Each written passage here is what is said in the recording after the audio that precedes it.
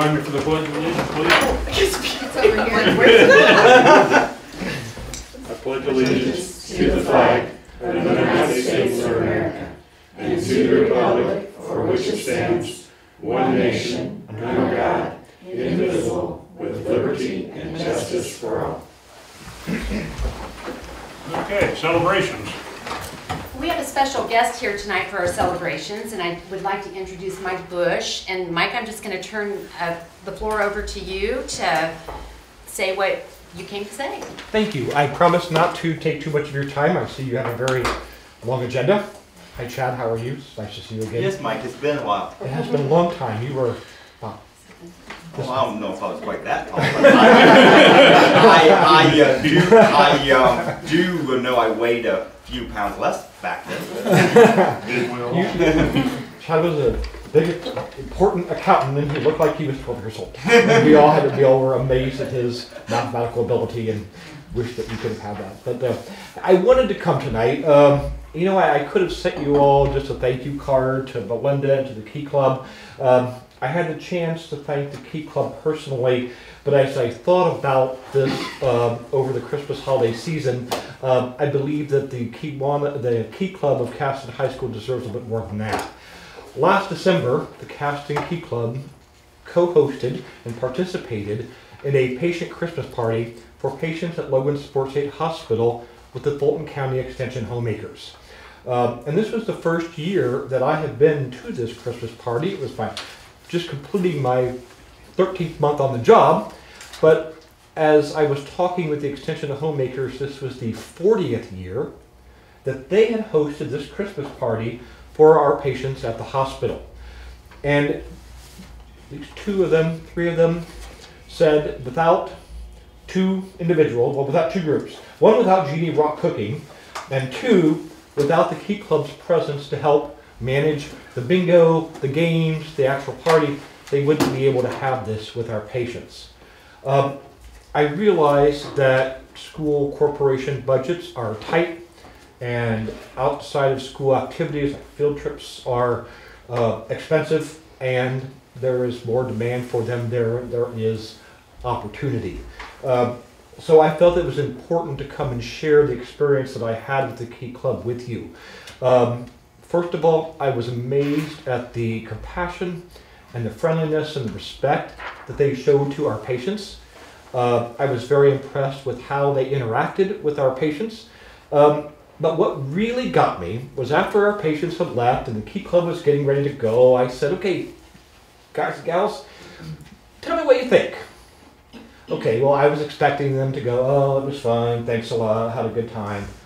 Oh no, six, seven hands shoot up in the air. And they said, oh, we were really impressed with the way they interacted with us. And the one I was sitting next to took a long time to kind of get used to us, but was really great. And then they started asking me questions, which I totally wasn't expecting.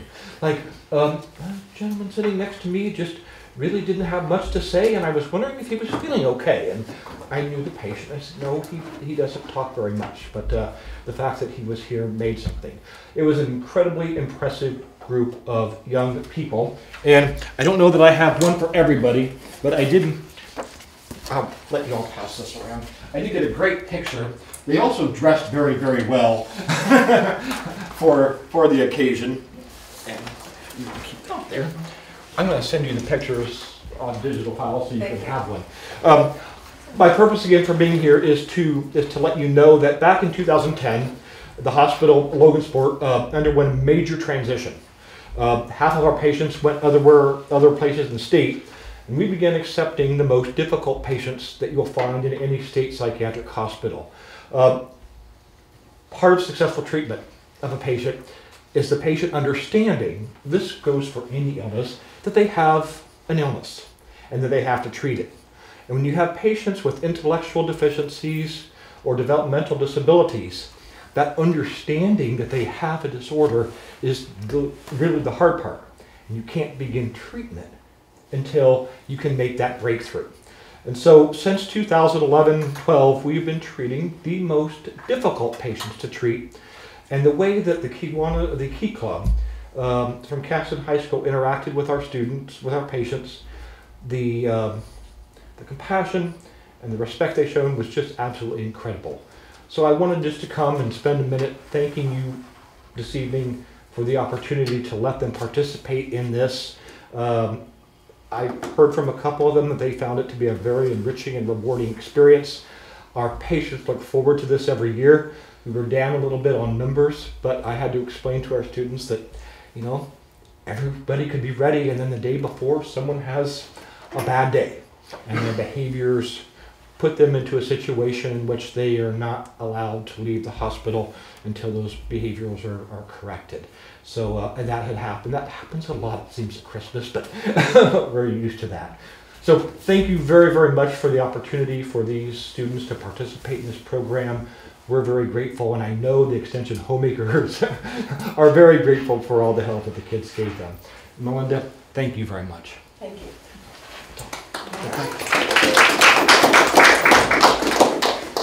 Well, Mike, thanks for taking the time to come and, and share that with us. And I, I don't know if you're aware, but when Jeannie Rock's not busy cooking for the homemakers, she's here cooking in our Caston cafeteria. She's one of our regular ladies. so- I am, and I actually took a picture of Jeannie cooking and sent it to my mom. Said, "Haha, I get to eat Jeannie's food today." to which she replied, "Where are you? I'm coming." so, thank you again all very much for your time. Uh-huh, thank you. Thank you, Mike. And you are completely free to go, yes, unless you just have, have a burning desire to sit here throughout the meeting. I looked at your agenda and I believe that you were all very anxious to get through it. Thank you. Thanks again, Melinda. Okay, public comment as per advertised items. Okay, moving on, consent agenda, any questions, discussion? If not, do I have a motion? Mr. President, I move to approve the consent agenda as it is written. And I will second. Have a motion and a second to approve the consent agenda as printed, all in favor? Aye. All opposed? Motion carries five zero. There's no old business. Moving into new business, item A, accept a ten thousand dollar donation from Woodlawn Hospital to pu- purchase stop arm cameras for our school buses. And, you know, this is a presentation that was made during our public work session, but we just needed to have uh, documentation in a formal meeting that the board did actually accept that donation. And uh, that will be put toward the cost of stop arms for our school buses that are driving the most highway miles. Okay. All right, anybody have any questions or discussion? Have a motion. Mr. President, I'd like to make a motion to accept a ten thousand dollar donation from Woodlawn Hospital to purchase stop arm cameras for school buses. I'll second the motion. I have a motion and a second to approve item A under new business. All in favor? Aye. All opposed? Motion carries five zero. Item B, accept the lowest bid for renovation of the Caston School Corporation Administrative Building. Along, along with those, we had a couple add-ons, and uh, I let a piece of flyer each one of you on shingles. I did not know it, they spec a thirty-five year shingle, three hundred pound weight per square, which is very similar to what's on this sheet I left you. The Decra is good, there's no two ways about it. After talking to some people at the lumberyard and some other suppliers, I would recommend we go with these shingles, simply because we're looking at, to go with the Decra, we're looking at seventeen thousand dollars additional cost, and they've already spec'd in, the, I just, I thought maybe they'd just spec'd a thirty-year shingle. Right. So with, with this information here, this is, uh, I think that, has a fifteen-year warranty on hundred ten mile an hour winds. And just a, so much heavier shingle than your norm. I think we'd be silly if we went right now with, with the Decra and and the extra cost of it. The other one, I'm not gonna back off that one, the foam. Oh, No, I- I don't think we have to act on that either. I I think agree you'll with get your that. money back in energy Yeah, that was efficiency on only- that pretty quickly. I think that was only, what, thirty-one, thirty-two hundred dollars extra to do the foam, and, and I think this building sets out here with no real windbreak. Exactly. That foam, they'll probably put an inch or two in the walls, and that's gonna seal the walls up good and tight and cut down on any drafts, so I think that'd be money well spent, so. That's my two cents worth, I don't know what the rest of you feel like, but, uh, I I feel confident in going with these shingles now, and so. I guess we can open it up to discussion, any discussion? Well, I just want to make sure for the record that we, uh, you know, we do have a recommendation from Lancer and Beebe to go with the lowest quote. They felt that it was a responsible quote and um, actually, the comp, even had the board wanted to go with both alternatives with those added in, it would, would have still been the lowest quote, and that's Shepler uh, Construction, a local contractor, and I was happy to see, and I think we talked about this in our uh, previous meeting, that almost all the subcontractors that they have recommended are local uh, people that we've worked with, that, you know, we have a confidence level in, and so I certainly would recommend we go with the lowest bid, I think every one of them subs has done work here, haven't they? Uh, the majority Yeah. that I'm aware of, Yeah. yeah. And just for the record, I think even, even with the deck, if we went from metal shingles and, as Mrs. Douglas said, the foam, he was still hundred and fifty-some thousand cheaper than the high end, so. Uh-huh. So I, I, and, and uh, there again, have no doubt that he will, he'll do a good job for us. I mean, he come, you contacted uh, Michelle Starkey at Logansport, he's done a lot of work there, so I, I think we'll be fine. I think, I think there's something to be said about if we can use a local contractor, we got, a- we got a little more, I don't know, bite or something, if we have a problem, we got someone we can go to. Exactly. Plus, I mean, A, they're the low bid, B, they can do the um, work, and C, I would, I would much rather keep the money in our local area here than mm-hmm. have it go to out of town and or out of state. Um, I just feel like if, if we have someone close to home that can do the work, we are silly not to have them do it. Uh, I think all the other contractors are out of South Bend, Fort Wayne. Right. I don't know, other than one had a connection to Rochester. Mm-hmm. So, if there's no further discussion, I entertain a motion. And we need, in our motion, we need to specify on our additional work too. So we have that in, the in the minutes. Well, I'll make the motion to accept the bid from Shepler Con, Construction and to add in the, uh, the extra spray foam to add to that bid to do the Caston School ad, uh, admin building renovation project. I'll second. Have a motion and a second to accept item B under new business. All in favor? Aye. All opposed? Motion carries five zero. Okay.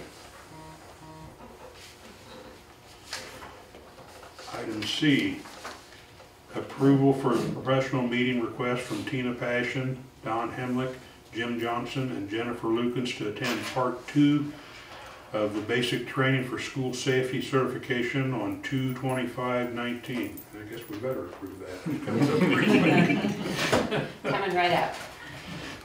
We've gone for many, many years with only having one or sometimes two people in our school corporation that are actually certified with the, for the state, uh, safety, uh, certification. And it was a goal, uh, to have more people go through that training and, you know, when they go down to those meetings, there's a variety of different topics and they can kind of go to pick and choose and go to different things and bring back a lot more information. So I'm really pleased that these people were willing to step up and um, make the, make the effort to go through that training and uh, there's some ongoing requirements to maintain that certification, so it's not just a one-time thing for them, so that'll be wonderful for our school corporation.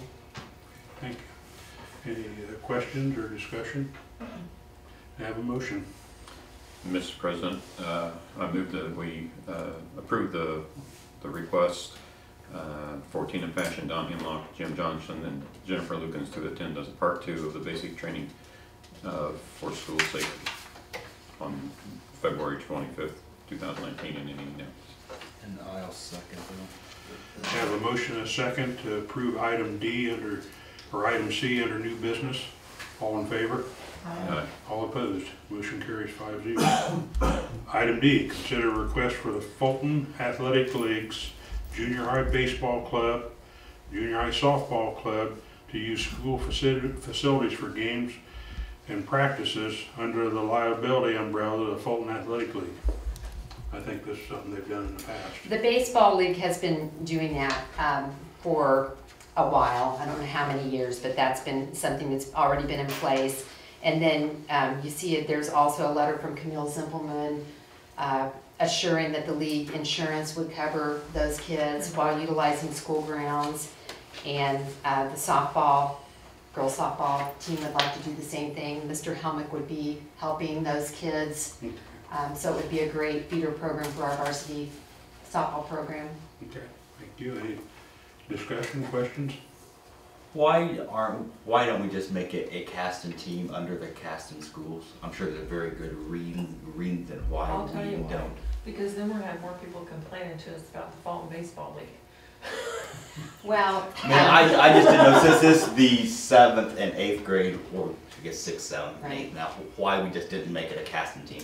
I mean, I just, I, you know, I mean, we never have had junior high baseball or softball. It would, it would be an addition to our sporting program, so we would have the expense of hiring Mhm, coaches. And it's just a program that's been, I guess, our kids in our community and our school community have been serviced through the local leagues, through, you know, Little League, and then up through the junior high level for many, many years. And those programs have been in place and sustainable, so, I just didn't know yeah. why. And, Say and most schools currently do not have a junior high Okay. program, it's usually run through like a. Town like a park. Town park or something, and, I agree. and, uh, uh, I can see it coming down the road. Well, I think, I mean, that seems to be kind of how it's trending towards, I just didn't know. Right, Yeah. and I think another reason, probably, it's always been a summer program. So most of our sporting things have taken place during the school year, and this would be, you know, a summertime program, so, I, I just didn't know. uh-huh.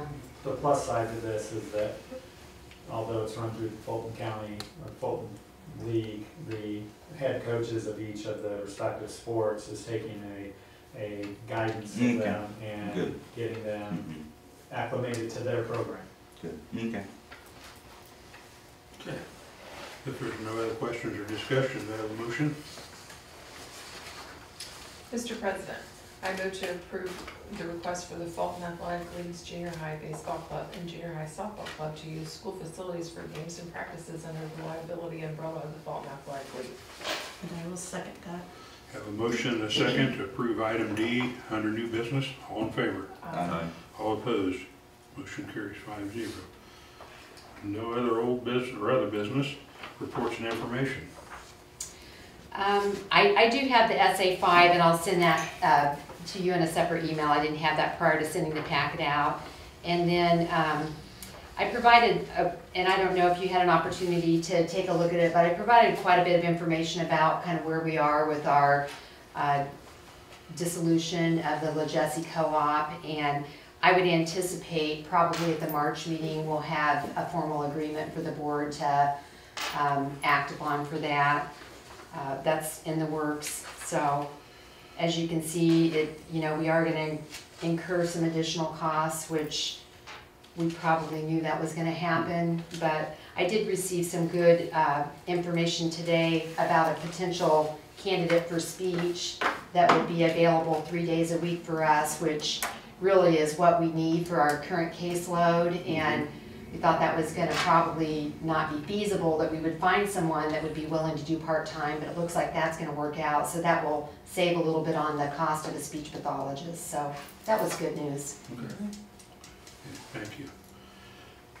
Principals, you got any kind of a I just, report or information? I have a little bit of information. Um, just wanted to let you know that, um, Josiah Held, a fifth grader at Caston, has been accepted into the Big M math program for this summer for gifted, uh, students in mathematics. And he was um, nominated by, uh, Tina Passion and me. And, uh, uh, received, a- uh, mom received a letter on Monday night, was really excited about that. So, uh, we're looking forward to that opportunity for him it's been a good opportunity for other students who have uh, been able to participate in the last couple of years. What was the name of that? Big M Yeah, the Ball State. at Ball State. Okay. Thank you. Yeah, I don't have a whole lot. Um, I just wanted to report on one thing, could have been in celebrations. I know our junior high uh, robotics, who was the elementary, now they've, they've moved up to, and they're, they were victorious again in a, uh, um, in one of their matches where then they'll compete, um, hoping to get to nationals again. That's what those four boys, and I think Chad's um, son was one of them as well. He wasn't there when he presented the trophy. He was some must have been in Alabama at the time, but uh, He might have been, yes. but uh, just uh, we're just keeping that going. It started in the elementary, and, and we're still um, having that uh, success. To piggyback on that, all, uh, all of the elementary teams, as of uh, Tuesday, it is today? Wednesday, thanks. As of, as of Tuesday, all of the elementary teams had um, qualified for state, the state competition. And And uh, that's three teams? I think we have four. Okay. elementary, But, um, have qualified for state and then, uh, but they have to be in the top two hundred teams in the state. And as of Tuesday, we were, but there's another contest this weekend, so we'll see. But hopefully they'll all be coming. Any other administrators have anything? Okay. Public comment. Board comment. Well, I would like to say that, first off, Saturday, um, I was at the legislative breakfast. Um, and yesterday was down at the State House. Um, they had a celebration, um, in the Senate and in the uh, House for the ISBA, uh, the Indiana School Board Association, and it was their first annual State House Day. And it was quite interesting. We got to talk to our legislators and eat lunch with them at our table, you know. Um, and the representatives, we were able to talk to about certain bills, but the Senate hadn't switched the bills over, so they didn't, they didn't know some of the bills that the Senate was passing that we wanted to talk to them about. They didn't know yet, so I guess next year, I'm hoping they'll be a week later, so they at least have a clue as to what we're talking about. But It was interesting that we got to talk to them. Um, I learned a lot. Um, So, anyway, that's what I did yesterday. Thanks for taking the time to do that. Yeah, That's, appreciate it. I was just thankful the weather was good, because I'm like, I don't wanna drive down. Did I see somewhere where they turned down the thing on minimum starting wage for teachers in Indiana? And I could tell Or you. am I dreaming? I it don't very think well that could be, was- that's, there, I think there were two bills that actually wanted to somehow set a, a minimum starting salary for teachers or wage, and I, I don't know. I For thought I sure. seen Which somewhere ones where have- They just completely rejected it altogether, Yeah. so, and they wonder why you can't get young people to get into the profession. Mm-hmm. Christy, I am gonna be down um, at the State House on the twentieth of March uh, with our Superintendent Study Council, so that'll be timing that, you know, they'll be through another um, level of those passing back and forth, so if you have any that you follow up on that you would like for me to touch base, just let me know. Okay, and- Yeah, 'cause I actually am planning on going down the twenty-sixth. Um, because Mitchell's gonna be a page down Oh. there. You know, So, but anybody else, anybody else that works down there? Yeah, Jacqueline's down there. So I get the scoop on all the bills. There She you tells, go. she tells me, yeah, right now they're having a heated debate, people walking out, it's getting real exciting, so I get a play-by-play. It's on the hate crime, so it has nothing to do with the school, Oh, but. we don't have a, a hate crime law in Well, I'll continue passing those weekly updates Yeah, to you guys, yeah, and, appreciate you know, that kind of keeps that, you yeah. abreast of what's happening that pertains to education at least, so. They, um, uh, one of the things that the ISBA does, because I'm um, working with the legislative part of it, um, they s- tell me when they send a thing to call your, and I don't know, do they send it to you guys too? 'Cause I I, okay, I didn't know. That might be what uh, Mrs. Douglas is forwarding to I us get too. it, Mm-hmm. I can't think of that lady's name, and then you sent it to me too. I can't So think either of that Brooke or lady. She's- Shayla, She's spoken at several of the meetings we've gone to. I can't think of her name. Lisa Tanselle. Yes. Mm -hmm. She's the one of the ISBA attorneys. Yeah. Okay, thanks for that information, Christy. Mm-hmm. Uh, anything else with board comment? Next meeting will be March 20th at 6.30.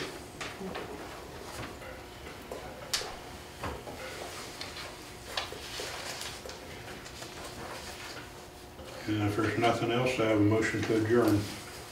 Mr. President, I move to adjourn the meeting. I'll second that. I have a motion and a second to adjourn the meeting, all in favor? Aye. All opposed?